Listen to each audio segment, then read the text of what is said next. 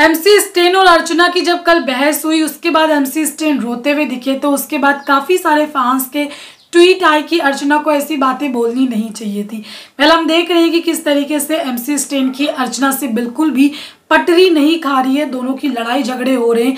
दोनों एक दूसरे पर पर्सनल कमेंट्स भी करते हैं, चाहे वो एमसी स्टेन हो, चाहे वो अर्चना। हो सकता है कि वीकेंड के वार पर सलमान खान इस पर क्लास भी ले, दोनों की, दोनों को समझा भी सकते हैं। लेकिन अब यहाँ पर कुछ सेलिब्रिटी आ चुके हैं सपोर्ट में एमसी स्टेन के। कश्मीरा शाह जो कि फॉलो करती है बिग बॉस को बहुत ही अच्छी तरीके से। उन्होंने कल का एपिसोड देखा और एमसी स्टेन के लिए एक ट्वीट किया। उन्होंने लिखा है एमसी स्टेन ने आज धमाल मचा दिया। यार अर्चना के साथ आए। नज़ारा सबसे मज़ेदार रहा। मुझे ये शब्द शेमड़ी बहुत पसंद था।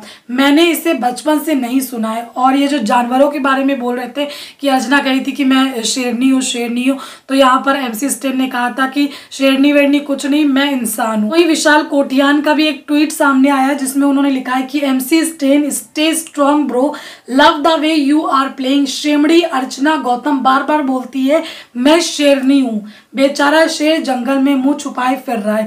ये कहीं ना कहीं तंज उन्होंने कसा, जिस तरीके से यहाँ पर दोनों की बहस के बाद हमने देखा कि एम सी स्टेन रोते हुए दिखे थे।